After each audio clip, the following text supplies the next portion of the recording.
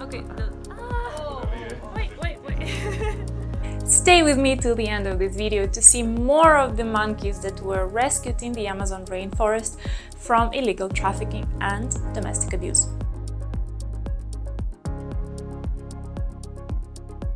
Probably the most well-known location where tourists go to see monkeys in the Amazon region is the Monkey Island, where there are several thousand monkeys are living currently.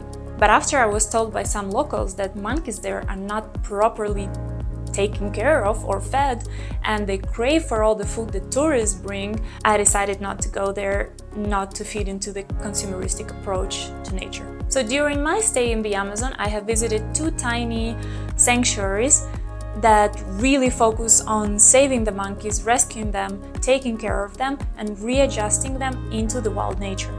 This first one is located on the Peruvian side of the Javari River, close to the Amazon River, and also allows tourists to play with the monkeys, feed them bananas, and take selfies. Because some of the rescued monkeys are so used to the people around that they feel pretty safe about that. I assume that not every rescued monkey can be readjusted to the wild if it grew up uh, in the household with a lot of humans around.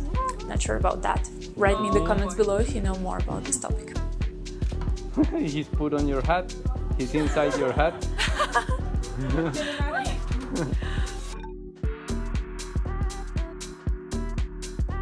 like he's hiding in your hat. He has your hat on.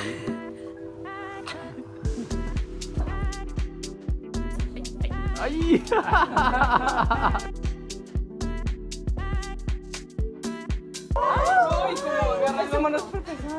This particular sanctuary has also a pirarucu pond. Pirarucu is one of the biggest freshwater fish in the world. As it is being caught for food a lot, this place makes sure it feels safe here and properly fed. Feeding pirarucu is a mini show in itself. See for yourself.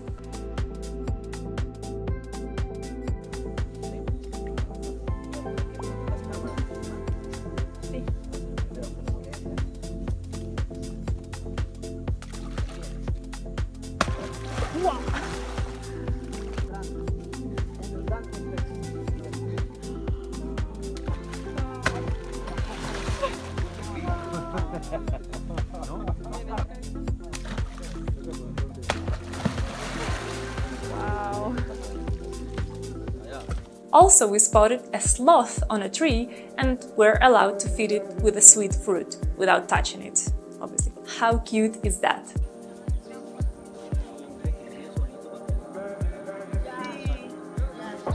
That is it for this very short visit. Then we were served a typical Amazonian lunch, talked to our local guide and went down the river for more adventures. Don't forget to subscribe and let me in the comments below if you like the episode and what do you think about this topic and if you want me to make a video about another sanctuary.